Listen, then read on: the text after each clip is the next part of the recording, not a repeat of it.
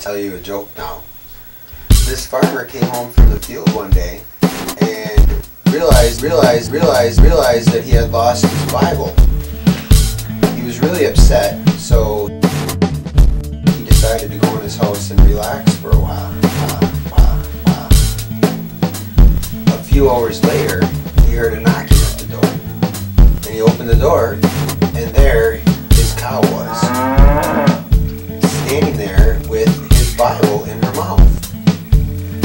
And the farmer said, Cow, how did you know that was my Bible?